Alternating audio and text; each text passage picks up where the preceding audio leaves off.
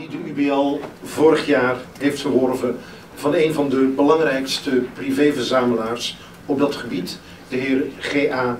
Edwards.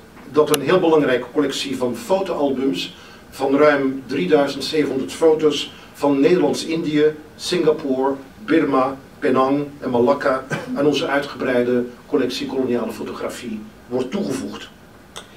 De heer Edwards, die, zoals ik al zei, Zuid- en Zuidoost-Azië wat betreft fotografie, hier bij de UB.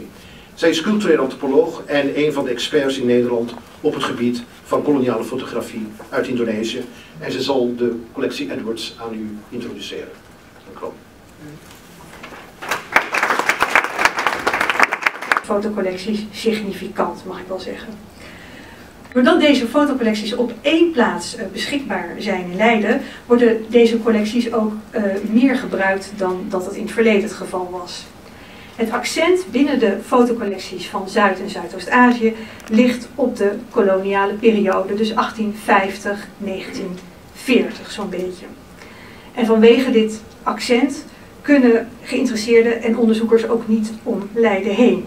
Mensen die geïnteresseerd zijn in deze koloniale fotografie. De collecties zijn niet alleen fysiek toegankelijk op de leeszaal bijzondere collecties, hier even verderop. Uh, maar grote delen van deze fotocollecties zijn ook online te zien. En dat is weer heel prettig voor bezoekers van buiten Leiden. Echter, de collectie waar het vanmiddag om gaat, die is nog niet digitaal toegankelijk. En daarvoor zijn wij ook op zoek naar sponsors. En daarom heeft u ook zo'n mooi boekwerk gekregen. En nou ja, wellicht bent u straks geïnspireerd na het zien van de Flix-tentoonstelling en trekt u wellicht uw portemonnee. Maar denkt u daar rustig over na. Vorig jaar kregen wij de kans om de collectie Edwards te kopen. En deze collectie bestaat uit zo'n 57 albums en 800 losse foto's. En Ik sta hier dan als uh, conservator fotografie van het Rijksmuseum. Um, het Rijksmuseum heeft uh, een aanzienlijke fotocollectie. En in die collectie zitten veel foto's, albums, uh, Nederlands-Indië. Um, lange tijd heeft ook Wim Vroom, hij was hoofd van de afdeling Nederlands Geschiedenis, albums verzameld die te maken hebben met de bedrijfscultuur in Nederlands-Indië. Dus bij elkaar zullen dat zo'n, ja ik weet het niet, zo'n 60, 70 albums zijn. Uh, uh, albums in de trant waar Lisbeth net over sprak. Uh, afscheidsalbums, jubileumalbums, nou, sets, foto's die meegegeven werden aan mensen die daar lang gewoond en gewerkt hebben. Als een present, als een aandenken aan die tijd. Dit in de geschiedenis van de, het medium fotografie, waar natuurlijk ook voor een deel uh, de koloniale geschiedenis, geschiedenis in is uh, vermengd.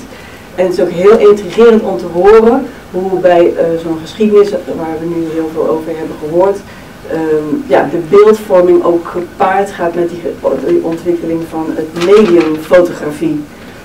Um, de periode waar we het steeds over hebben, die de tweede deel van de 19e eeuw, begin van de 20e eeuw, is ook um, de, de, periode waarin eigenlijk de popularisering van de fotografie plaatsvond. En eigenlijk inmiddels de uh, stereofotografie. En veel mensen realiseren zich niet, maar de stereofotografie moest dus ook tot stand komen met een camera met twee lenzen erin die dus ook precies op de afstand stonden uh, die er is tussen de twee menselijke ogen. En op die manier kreeg je dus twee beelden die net ietsje van elkaar afwijken. Net zoveel dat je er dezelfde diepte mee ziet als dat het menselijke, uh, de combinatie van twee menselijke ogen dat zien. Dus uh, hiernaast staat een hele aardige stereo kijkkast. En dan kunt u straks ook ervaren ja, hoe je een stereofoto bekijkt. Speciale houten camera's zijn, speciale trampenversies van 19e eeuwse camera's. Dus ook dat is gelijk uh, speciale houten. Ja, want in Europa waren camera's meestal. Uh, een tussendoortje, zal ik maar even zeggen, te goed. En die laten, zal ik laten zien. Um, ja. Ja, dit is echt een, ook een fantastische eh, foto. Eh, zoals u ziet volgens het onderschrift zien wij hier de Hindoeïstische Borobudur. Boeddhistisch. Ehm, nou ja, eh, het aardige is, ehm, dit is nou een typisch voorbeeld van iemand die een, een reisalbum samen heeft gesteld en bij een commerciële fotograaf verschillende eh, gezichten kocht. En dat waren natuurlijk dingen, eh, landschappen of objecten waar hij zelf geweest was. Maar ook ongetwijfeld bij zo'n fotograaf zag zo iemand andere foto's die hij ook erg interessant vond. En die heeft hij ook gekocht. En voorzien van een heel interessante eh, bijschrift. Nou ja, zoals u weet, de Borobudur is niet hindoeïstisch. En we zien hier ook niet de Borobudur. Maar wij zien hier een van de tempels in Bangkok. Dus we zijn even helemaal, helemaal verkeerd. Maar goed, dat maakt ook eh, eh, het kijken naar onderschriften eh, ook interessant. Je zou vaak geven onderschriften meer context. In dit geval geeft het ons context over hoe zo'n album tot stand komt. En dat is even wat ik u mee wilde geven. Eh Koert zal dadelijk ook nog even wat zeggen. Maar voordat Koert wat gaat zeggen, mag ik nog even, Koert? Ja. Ehm, dus we gaan zo dadelijk naar de flitstentoonstelling kijken. Ehm, ik wil u verzoeken om met uw handjes op de rug te kijken. Het is ontzettend verleidelijk om door die albums te bladeren. Dat begrijp ik heel goed. Vind ik zelf ook altijd heel aangenaam. Maar u kunt altijd terugkomen om eh, albums in te zien. Eh, ze zijn beschikbaar ook op de leeszaal bijzondere collecties. Dus het, het is maar even dat u het weet. Beste-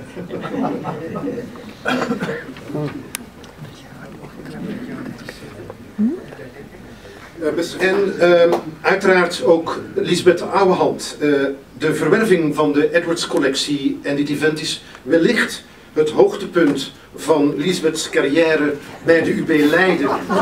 En ja, wat moet je dan als je het hoogtepunt op zo'n prille leeftijd reeds achter je ligt? En eh, zoals een aantal eh, van u mogelijk weten, is vandaag Lisbeths laatste werkdag bij de UB.